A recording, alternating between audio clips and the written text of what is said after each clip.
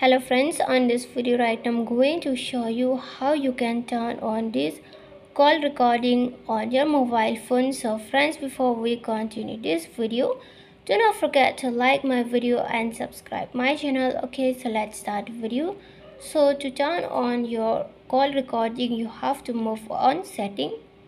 When you move on setting you can scroll down to uh, sim and network setting click on sim and network setting then scroll down and here you can see the call setting option. Tap on call setting.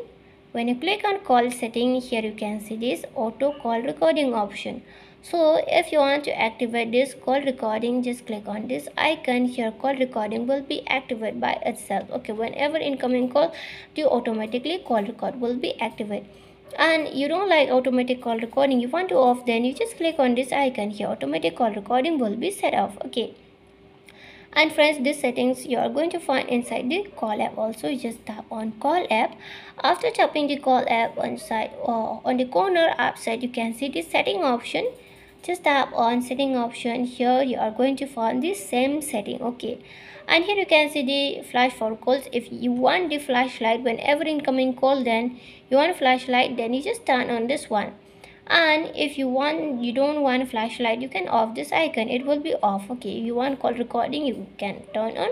You want flashlight then you can turn on. Okay. Whenever screen will be locked the flashlight will be beam if you turn on this one. Okay. This icon. Okay so this is about the uh, how to off and on call recording on this video. So friends hope you love the video. And if you love the video do not forget to like my video and subscribe my channel. Friends thanks for watching. Bye